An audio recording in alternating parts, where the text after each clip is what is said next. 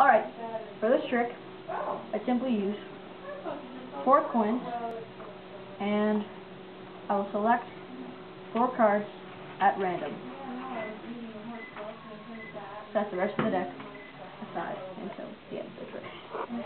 I'm going to take these four cards, start setting them down. I'm going to turn them sideways, and then lift. It's now gone across. I'll put this one down, turn this card, left, It's gone across. Now for the last one, I'm going to turn this card, um, and it's gone across.